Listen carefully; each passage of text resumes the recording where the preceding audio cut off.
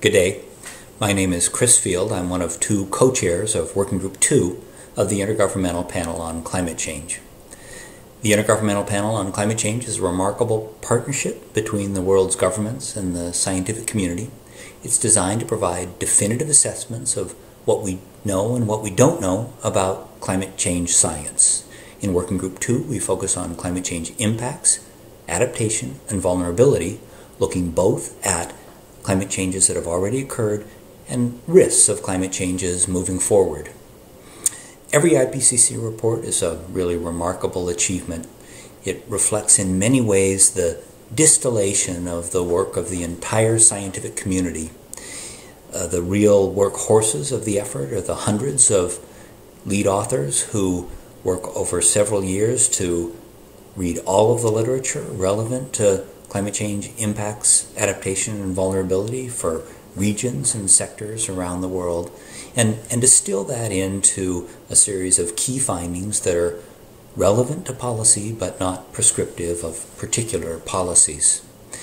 In the most recent version of the Working Group 2 contribution to the IPCC, authors dealt with 30 chapters that range from how to make decisions under uncertainty, uh, to the impacts on particular sectors, things like food security or economic impacts. And they also looked at a wide range of regions, including, especially important for you, a chapter on, on small island nations. You'll have a chance to hear a lot about the contents of the report and the findings of the report. I want to emphasize just one element a new feature of the framing of the Working Group 2 contribution to the IPCC is the recognition that the challenge of dealing with a changing climate is really a challenge in managing and reducing risks.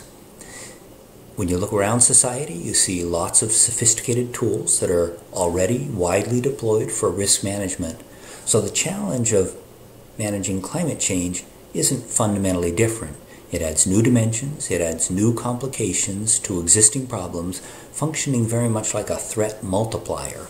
But the fact that climate change is a threat multiplier means that many of the tools, uh, many of the strategies that we already have in place and have experience with can be deployed to effectively manage climate change if our ambition matches the magnitude of the task. My feeling is that the Working Group 2 contribution to the most recent IPCC report provides a very solid foundation for understanding the issue and for understanding the elements that need to go into providing the solutions that can build robust economies and vibrant communities. Thanks very much, and I wish you the very best with your workshop today.